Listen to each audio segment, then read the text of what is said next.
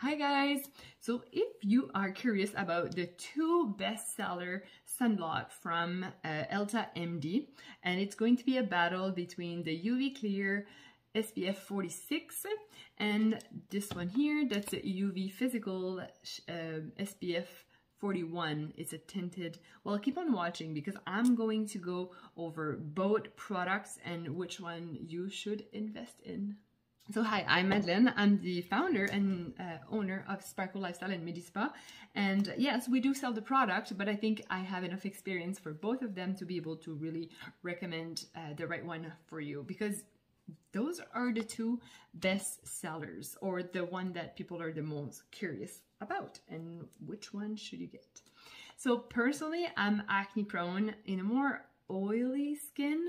So my um, my favorite is definitely the UV Clear SPF 46, where the UV Physical SPF 41 would be the good the good one for more more the people that are more dry sensitive, people that are looking for a little coverage. So the main reason why I personally don't enjoy this one for my skin type, it's because of the ingredient like dimethicone.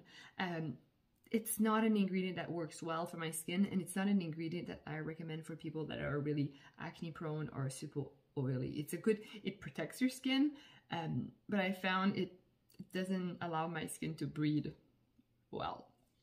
I have tendency to break out with it versus the UV clear UV clear doesn't have that ingredient. So in terms of the active ingredient in it both have the same percentage of zinc oxide 9% in the 41 and another 9% uh, in the 46 clear.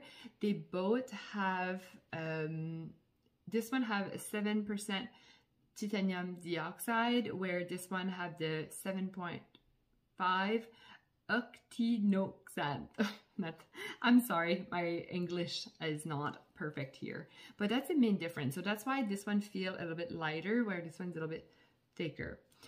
The 41 have a tint and the clear doesn't. And um, will give you an example of the texture. So this one here,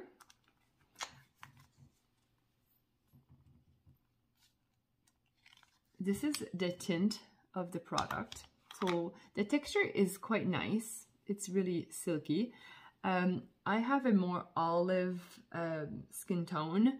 I personally, there's a little tiny bit of orange tint in it, but you need to realize that I'm an olive skin tone. So it fits for most people.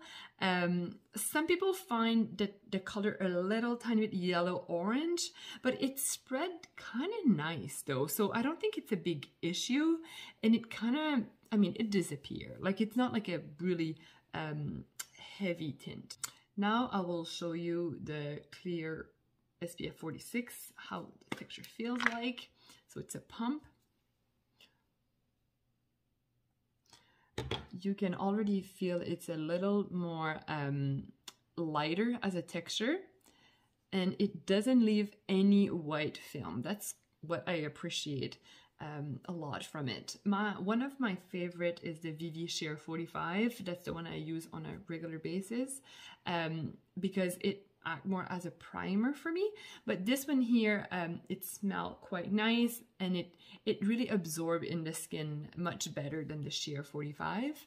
Um, but I like the Sheer 45 for the, for the primer effect of it where this one doesn't have that feeling, where the other one have more like a, a film, a residue, probably due to the titanium dioxide in it. Both products should be reapplied every two hours when you're exposed in the sun and every 40 minutes uh, if you're sweating or um, if you're wet or swimming. Another thing that I really enjoy from the Sheer 40 40, um, 46 is really um, the vitamin that's in it. It, it contains ni niacinamide, niacinamide, niacinamide, hyaluronic acid, and some lactic acid. So that's really good for your acne prone. Where the Sheer 41 have more occlus, where the Sheer 45 have mostly um, antioxidant and ingredient that will really kind of uh, nourish your skin. I really hope this little video helped you choose uh, better between the two uh, Elta the sunblock. In resume, I would definitely suggest the UV 46 for uh, people that are oily or acne prone and the, um, and the Elta MD uh, SPF 41 tinted for people that are more dry to normal looking for a light coverage. If you are acne prone, oily, but would like to have a good sunblock um, that have some coverage, I would definitely recommend um, Osmosis Mineral Press Powder. This is mine and I, I love it. Uh, well, oops, this is not mine. it's actually um, a tester, um, wrong color.